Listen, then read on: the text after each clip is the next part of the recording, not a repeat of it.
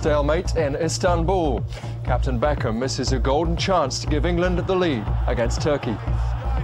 But fans deported before a ball was kicked. Some England supporters ignored advice not to travel. A goal from Darren Fletcher put Scotland into the Euro 2004 playoffs. In other news, Tories crack down on the rebels. MPs plotting their leader's downfall face written warnings. And in Iraq, American troops raid Saddam's strongholds in a bid to stop the continuing attacks.